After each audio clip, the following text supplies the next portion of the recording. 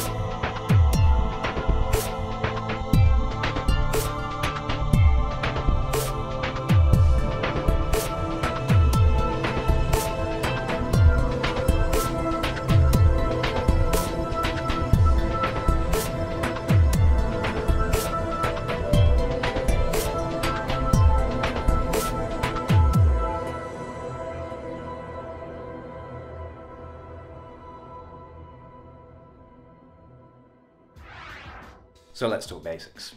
This is a 52mm macro filter kit which fits the same 52mm adapter I use to attach variable ND and wide angle lens adapters to my Sony ZV-1. More info on that adapter in my wide angle lens vid, linked in the description. You get four macro filters which go up in order of increasing magnification we get plus 1, plus 2, plus 4, and plus 10.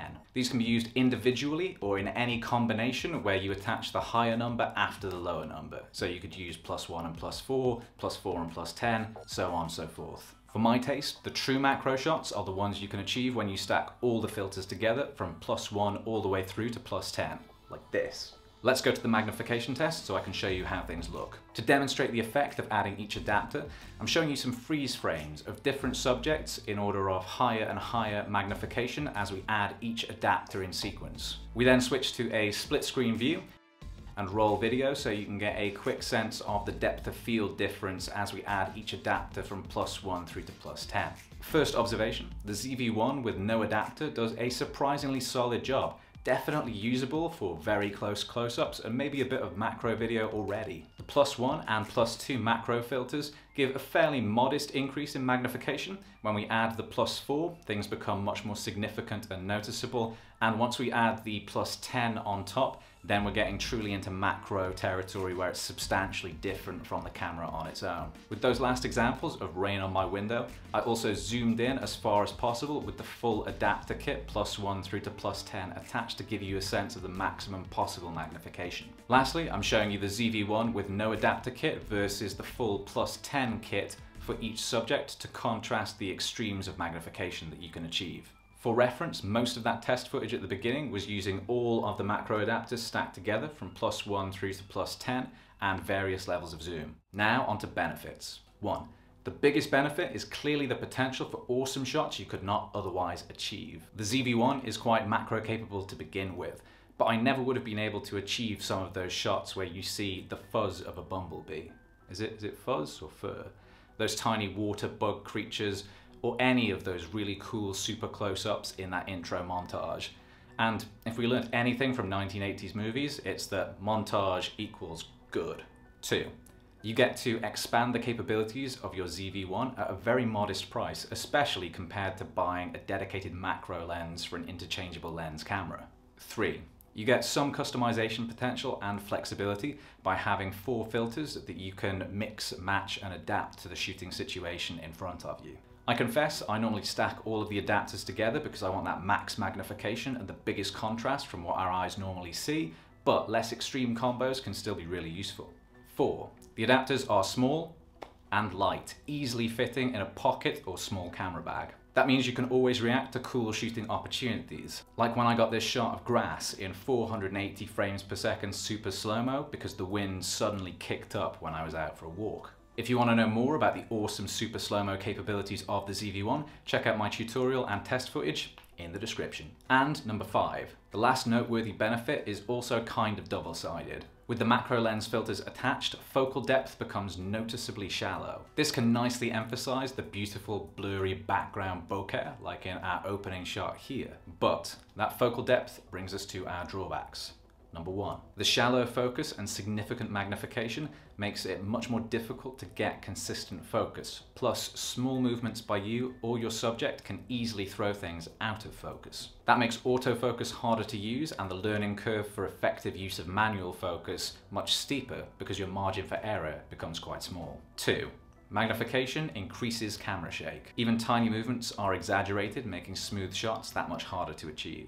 So you'll need a combination of technique, gear, and lateral thinking to get smooth footage and the best results. Three, the other downside of significant magnification and shallow focus is you need to get physically very close to your subject. With the full adapter setup from plus 1 through to plus 10, you need to be almost touching your subject. This can be awkward to achieve or limit some of the shots you can capture, especially if the subject is moving, like those awkward insects and bugs I just about managed to get. Before we get to my tips for good macro footage and my conclusions, thank you for watching the video so far. If you end up finding the video enjoyable or useful, then please consider dropping a like. If you like ZV-1 tech or creative content, then please consider subscribing to the channel for more of all of that good stuff. And of course, if you have any questions or thoughts, please let me know in the comments. Thank you. So, what do I recommend to get the best footage with this little macro lens kit? 1. Consider using manual focus. Autofocus can still be effective with the macro lens kit, but I found overall shooting was easier with manual focus once I did a bit of practice and got used to what my focal lengths were compared to my subject. 2.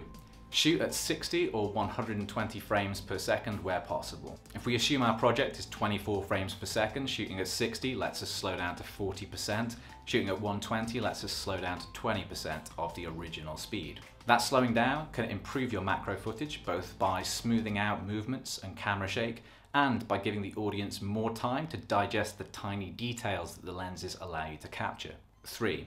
Always shoot with active stabilization turned on.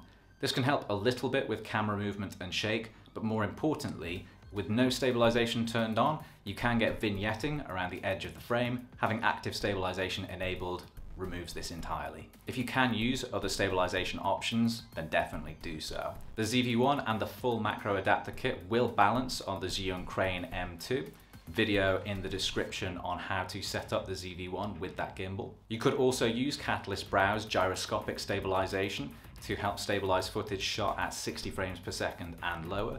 Full guide to Catalyst linked in the description. So now, our conclusions. And do I recommend this little macro lens kit? My answer depends on your shooting style and needs. If you like to just run and gun with the ZV-1, leave everything on auto and enjoy the great results the camera can deliver in lots of situations like that, this could be quite a high maintenance accessory for you. It could still be worthwhile if you like the kinds of macro shots that you've seen here, but it might require you to persevere a little bit with a learning curve or change of approach to get the best out of it. If you're like me and you love learning how to get the most out of your gear, what all of the settings and little manual control tweaks can do, then this macro adapter kit may well appeal more. It gives you some unique and different capabilities for a pretty inexpensive price, and if you learn to work around the limitations can give you some really cool results. I'm intending to use the macro kit for product videography and super close-up B-roll, and those two uses on their own justify the price for me. Whichever kind of shooter you are, I would only recommend this as a specific use and situational kind of accessory.